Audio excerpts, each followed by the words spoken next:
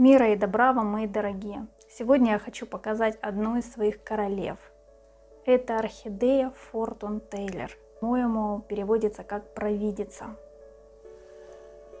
Это не орхидея, это просто великолепный каскад, который у меня не помещается в кадре. Ну, может быть, вот так я уже практически на метр от горшка и на полметра от этого каскада. И то он не весь помещается. Обязательно поставлю в этом видео сбоку, сниму цветы ближе, для того, чтобы показать вам всю невероятную красоту этой орхидеи. Она просто неописуемая.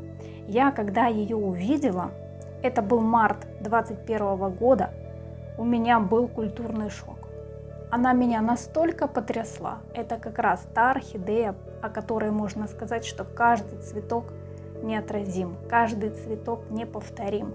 А когда этих цветов много, это просто водопад наслаждения. Вот в этой орхидее безупречно все. Единственный минус у нее просто огромная розетка, и она уже растет в большом горшке. По-моему, посадку и первую посадку этой орхидеи я делала у себя на канале, и вторую посадку этой орхидеи я тоже поищу. По-моему, мы ее делали вместе, когда я ее первый раз сажала в закрытую систему. Обязательно вам оставлю ссылку на это видео. Она очень быстро разрослась. И вот буквально в 21 я ее сажала. В 23 осенью я уже ее переводила на больший размер, потому что там она уже просто опрокидывалась. Буду показывать ее поближе, но единственный момент, конечно, теперь вы не увидите всего объема цветения. Замеряем размер цветочка. Вот 10 сантиметров ровно. Это невероятная, крупная, просто неотразимая орхидея. Цветочек каждый – это произведение искусства. У нее цветонос с боковой веточкой.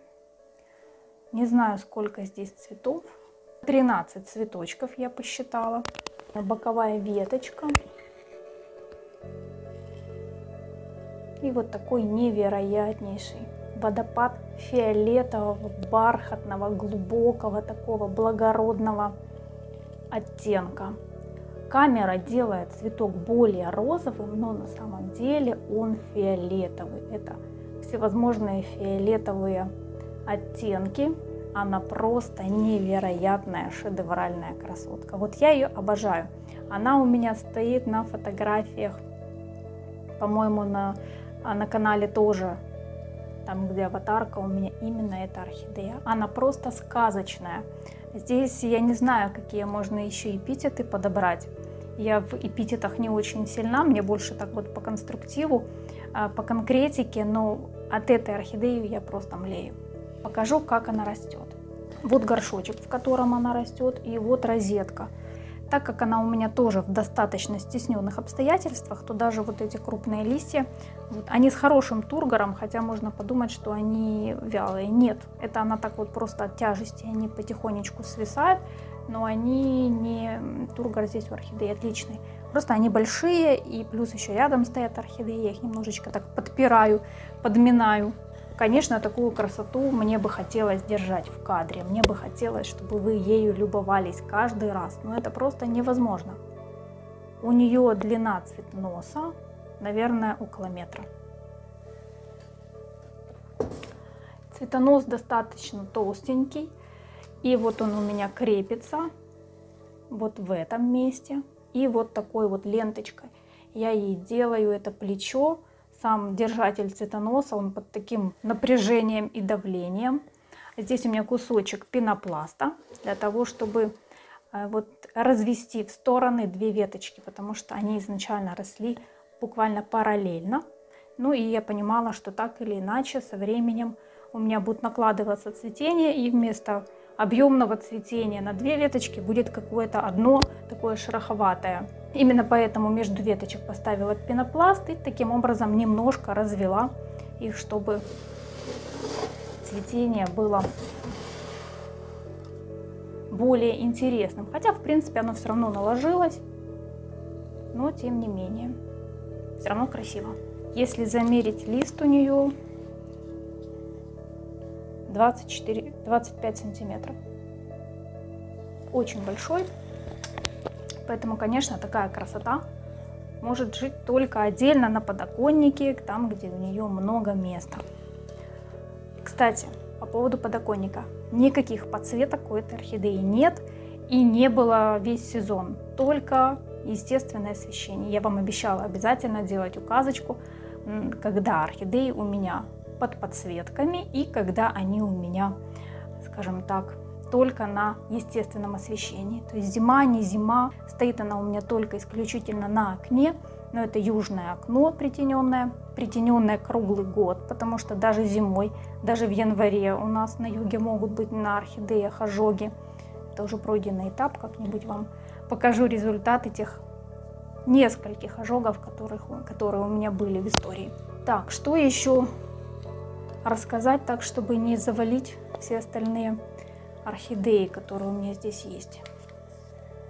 То есть вы видите, вот я вам сейчас покажу этот цветонос вот с тыльной стороны. Ну, это удочка около метра. Толстенький, смотрите, какой толще даже, чем держатель цветоноса. Так, что в горшке? Ну, горшок закрытая система. Сложно показать, что с корнями, но я вам могу показать, что в чем растет орхидея, так как это объем, еще раз попробую показать, это 3 литра, по-моему. И растет она у меня вот в такой коре. Это крупная кора, никаких здесь нет добавок кокосовых чипсов, либо каких-то других увлажнителей субстрата. Потому что объем большой, и если эта орхидея не сможет просушить его, что-то еще здесь вот по корешкам есть, я не могу ее рядом поставить, потому что она мне просто все здесь заломает. Ну, с корнями все хорошо, если мы видим и наблюдаем вот такое цветение, это однозначно орхидея не реанимашка, и никаких проблем у нее с ростом и с развитием нет. Она очень интенсивно развивалась, и при этом все-таки дала вот такое пышное цветение, но это, скорее всего, все-таки исключение. Обычно после пересадок орхидеи тратят основные ресурсы на освоение горшочка. Если у вас вдруг вышло, что после пересадки орхидея очень скудненько процвела, это нормально. У нее происходит период адаптации, освоения горшка, поэтому сделайте для нее благоприятные условия развития и роста, и она вас обязательно в следующий раз, когда освоится, когда адаптируется, обязательно вам отблагодарит пышным и радующим глаз цветением. По поводу этой орхидеи я вам все сказала. Все то, что хотела, я вам ее показала. Так как такой бриллиант, такое сокровище, конечно, прятать нельзя. Этой красотой нужно делиться. Поэтому на сегодня все. До встречи в следующих видео. Берегите себя. Пусть все ваши мечты сбываются. А на сегодня до свидания.